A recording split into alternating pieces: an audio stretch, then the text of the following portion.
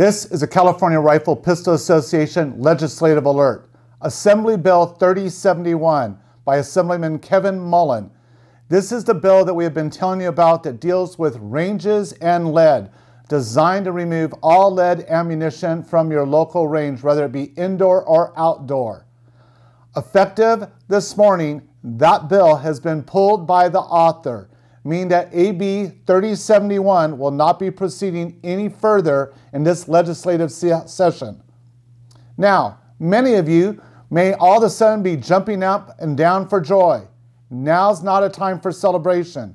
Now's a time more than ever for us to group together in what is called the California Rifle Pistol Association Range Coalition. This is a call to action. We need you, if you're not already a part of that coalition, to contact us at ranges at crpa.org. That's R I N G E S at crpa.org.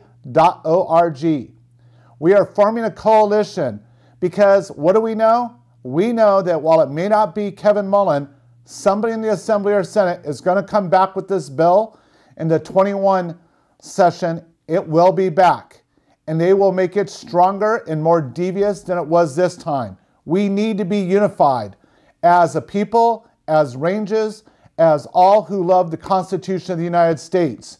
We need you in this fight. And the way we're going to do that is by building the strongest coalition. Right now, as we go through this virus, we've had many, many, many people join us by going out and buying their first firearm. We need you to join the CRPA.org. We need those of you who have sat on the fence to get off the fence and join the CRPA.org because this is a fight that is just being postponed. It is not won. So anybody goes out and grandstands and says, oh, they won, no, they haven't. It has merely been postponed.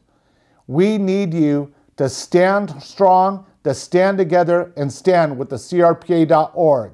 And remember, as always, be safe, shoot straight, and fight back for your rights. And contact us at ranges at crpa.org.